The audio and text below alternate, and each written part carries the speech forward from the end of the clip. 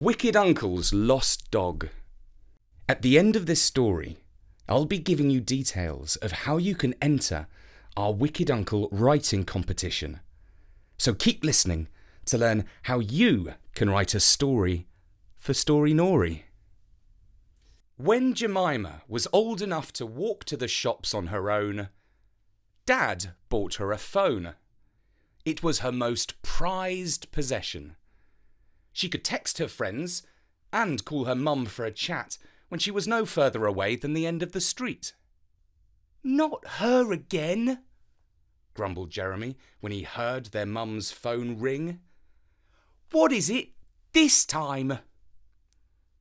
Jeremy did not have a phone yet, but he had resolved to ask Uncle Jeff for one for his birthday. It was bound to be a better phone than his sister's, because Uncle Jeff was much richer than Dad. Dad held down a steady job, while his brother Jeff had been in the army. After that, he worked in shipping for a few years, invested in property, and now he did something from home called day trading. No one else in the family was quite sure what that meant, but it paid well because he was never short of cars, gadgets, holiday homes, and girlfriends. There was just one sign that he was growing out of his bachelor lifestyle. He had been going out with Jessica now for a year, and that was a record. Before Jessica met Jeff, her parents used to look after her dog when she was at work.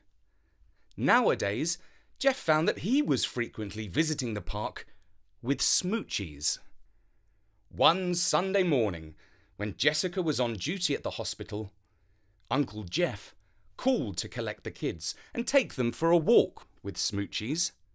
The kids absolutely adored Smoochies. They did not mind one bit being pawed or licked or jumped up on. And if Smoochies minded being grabbed hold of and hugged, she did not show it. There were plenty of doggy games to play, like fetch the ball, or find the smelly socks, or tug of war on an old rope. Smoochies is going to sit with me, said Jeremy. No, she wants to be on my lap, insisted Jemima. Now, kids, let her sit in between you.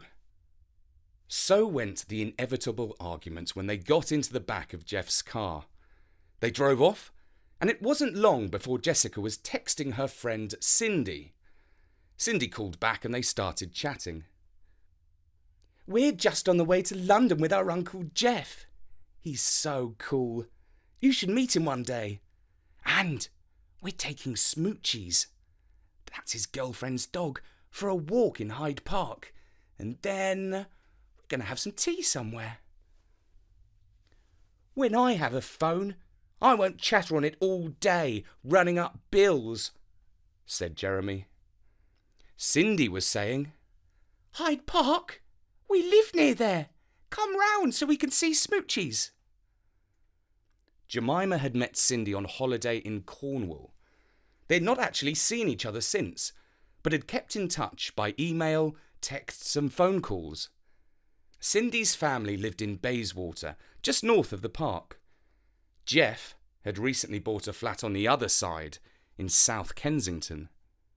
Uncle Jeff, can we go and have tea at my friend Cindy's house? She's inviting us, asked Jemima.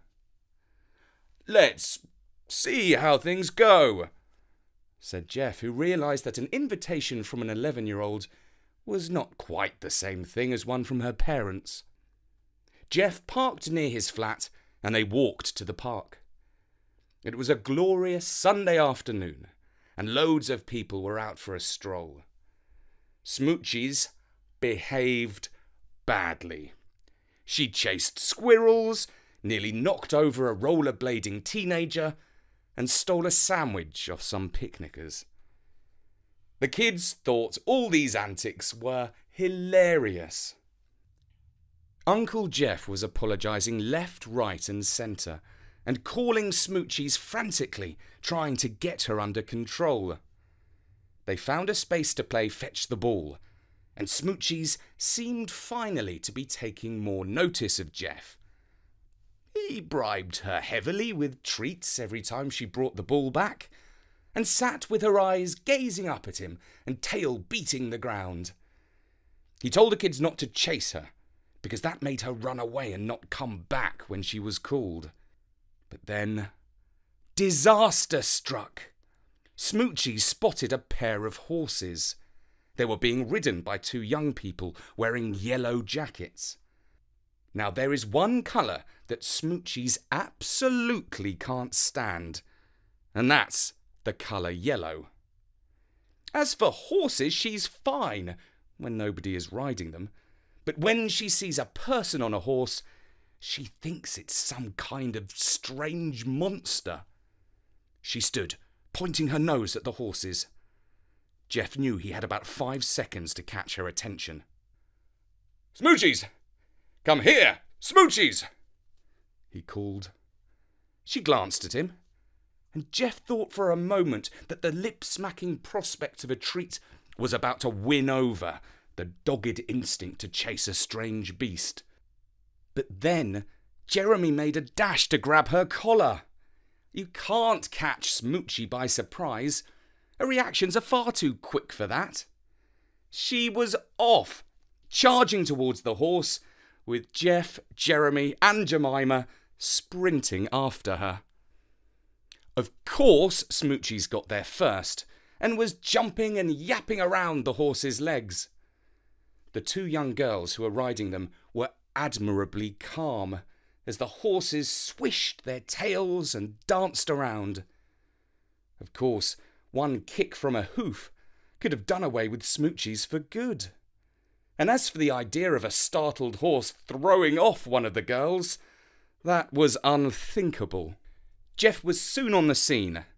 He made a dive to catch Smoochies by throwing himself into the sand like a hapless England goalkeeper playing against Iceland.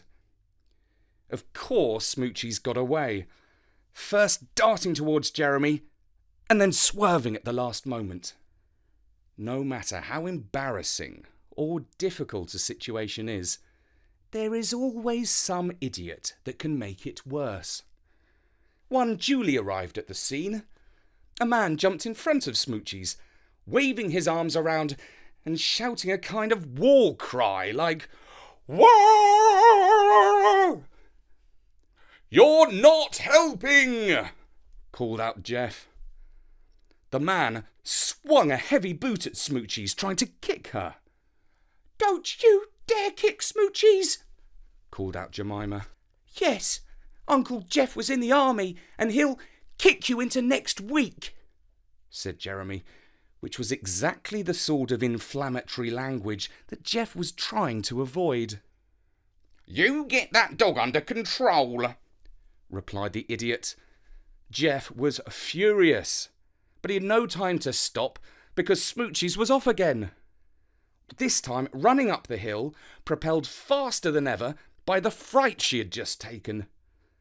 Now, a gang of boys was chasing her, and she kept going in a straight line. She ran into the long grass and disappeared from view. When she reappeared, she was halfway towards Bayswater Road, with Jeff, Jeremy, and Jemima a long way behind. They were powerless to stop her, and it was with total dismay that they saw her head straight towards four lanes of traffic. By some miracle, the lights were red for the traffic on the crossing as she dashed across.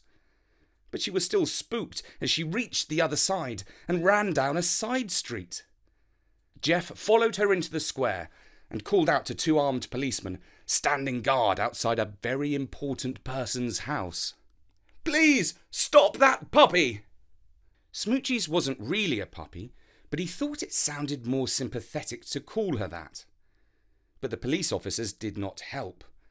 Indeed, they had more important things to do, like stopping Jeff and telling him he should be in control of his dog. Yes, I know, puffed Jeff, losing valuable time. When the police officers had finished ticking him off, Smoochies was round the corner now and completely lost from view. Two women sitting outside a coffee shop said that they had seen her go that way, and Jeff trotted on. But Smoochies was nowhere to be seen. Jeff stopped to call Jemima's phone to find out where the kids were. It rang and rang, but she didn't answer.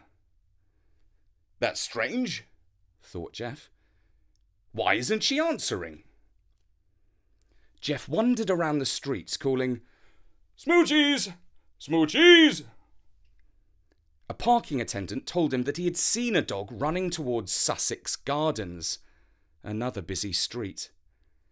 He headed up there and was relieved to find no sign of a squashed dog. But he was far from sure that she was safe, because this was central London. There was no shortage of car infested roads for a dog to get run over on. Eventually, he found an inner city canal. He sat down on a bench next to the water and took out his phone again. Before he could dial Jemima's number, it began to ring. Hello, have you lost a dog? said a voice. Yes, have you found her? Is she okay?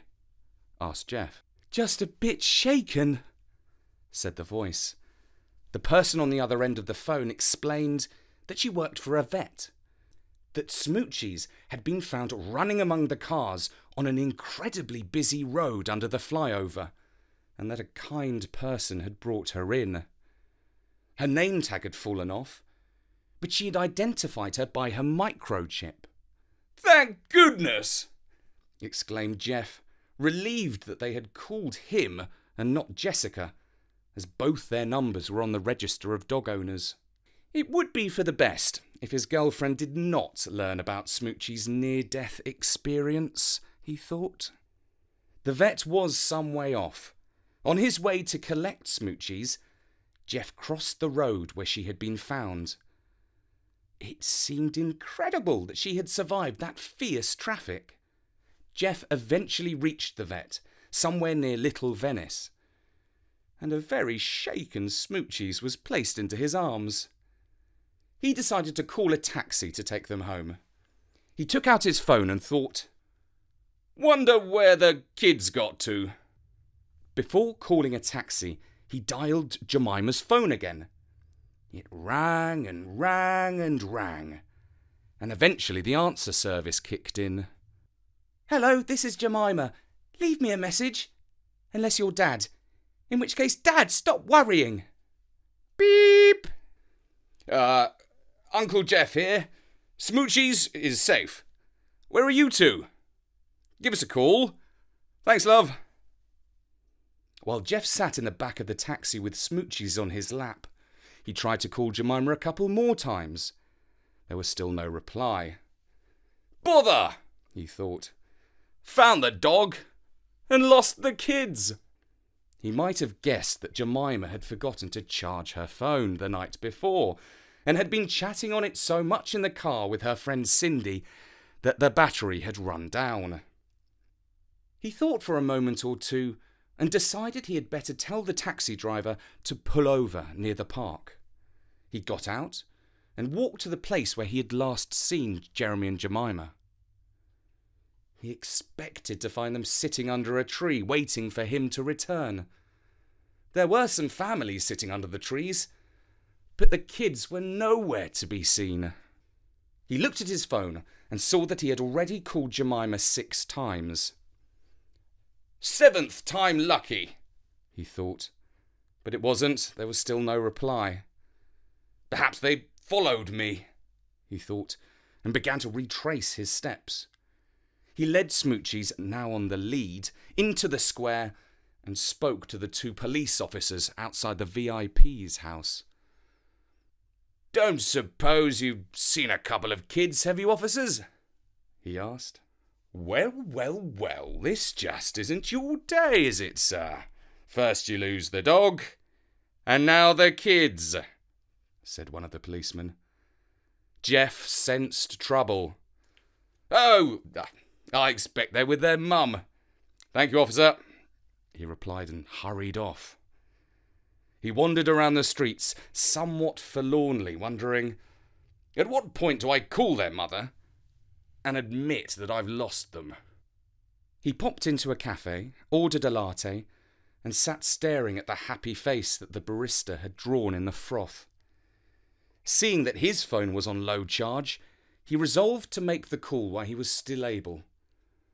He dialed their mother's number. Hello, answered Liz, his sister in law. Hi, Liz. Jeff here. I know, she said. I was wondering when you would call. Have you lost something? Well, smoochies, he admitted. Yes, and? Well, the kids too. Is that all? she asked. Uh, yes, that's that, that's all I can think of for now. I found the dog, by the way. Glad to hear it. Well, you will be pleased to know that the children are safe and sound. No thanks to you. They're at their friend's house in Bayswater. Jemima met Cindy in the park and explained they'd been abandoned by their uncle, who was off chasing a lost dog. What a relief! That is good news, said Jeff. Well, isn't it just? Replied Liz with a sardonic touch that made Jeff wince. She gave Jeff the address, and he and Smoochies made haste and caught a cab to Cindy's house. The kids were overjoyed to see Smoochies safe and sound, and everyone agreed it was a miracle that she had been found alive. Jeff thought to himself, and it's a miracle I'm alive because if Smoochies or the kids had gone missing for any longer, my life wouldn't be worth a straw. And that was the story of Wicked Uncle's Lost Dog. Storynory's Summer 2016 Writing Competition, sponsored by Wicked Uncle, home of brilliant children's presents. How would you like to write a Wicked Uncle story of your own? And hear me, Richard, read it out on Storynory. This summer, or winter if you live down under, get your pen or your keyboard ready to write for us. Think up your own plot based on the lovable Uncle Jeff who is always getting into trouble. Remember, his nephew and niece are called Jeremy and Jemima. His girlfriend is called Jessica. And his girlfriend's dog is called Smoochies. We will read out the best three stories. One of the winners will be chosen by our friends who run an online toy shop, which is rather appropriately called Wicked Uncle. Find it at wickeduncle.co.uk. They will award a £50 gift voucher to the author of their favourite story. We will pick two others, and all three will be read out here on Story Storynory. Get your entries in by September the 7th. Just email them to bertie at storynory.com. That's bertie at storynory.com. And remember to tell us your name, your age, and the country you live in. I'm really looking forward to reading your stories, so get writing. For now, from me, Richard. Goodbye. Goodbye.